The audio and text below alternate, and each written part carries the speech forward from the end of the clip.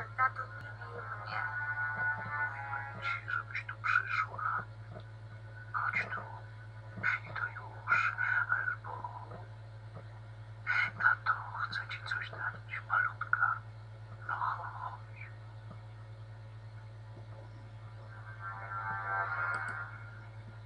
Tatuś wygląda tak strasznie.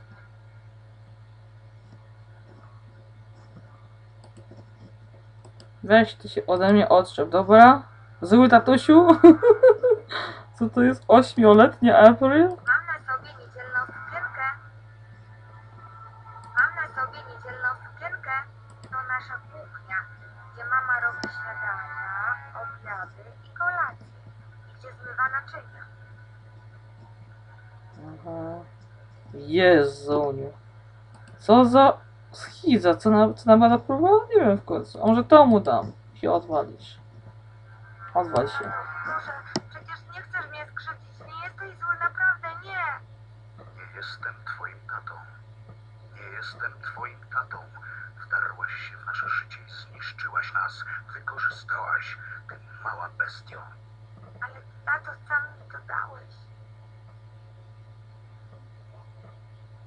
Dobra, nie marudź.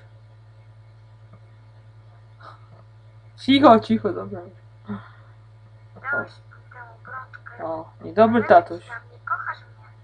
Tylko po prostu nie zawsze ci to wychodzi. Nie. Zniszczyłaś nas.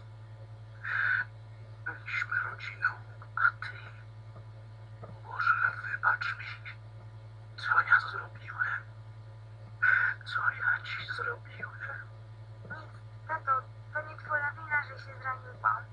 Yeah.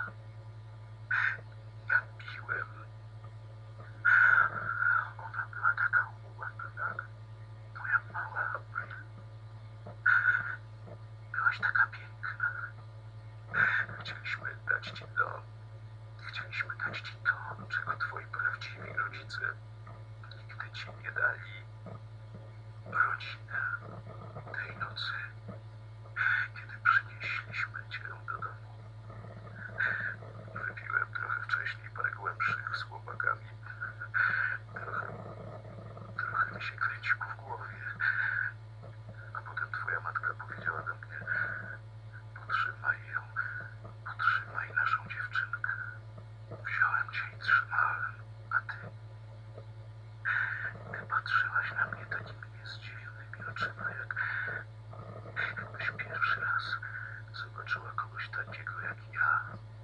Zakochałem się w tobie. Byłaś taka piękna. A ty się do mnie uśmiechnęłaś. A potem nie wiem co się stało, ale zrobiłem krok i potknąłem się. Upadłaś na podłogę, ale nie płakałaś. Nawet nie zaszlochałaś. Kiedy doktor powiedział, że już nigdy nie będziesz chodziła, Boże, nie mogłem znieść tego, że to przeze mnie. Nie wiem dlaczego. Potem stałem się potworem, którym teraz jestem. Dlaczego uznałem, że zadawanie ci bólu to jedyny sposób, żeby zwalczyć wstyd. Kiedy zaczęłaś chodzić, pomyślałem, że robisz to, żeby mnie upokorzyć. Byłem takim samolubnym głupcem. A teraz... Teraz cię straciłem. Na zawsze. Przebaczam.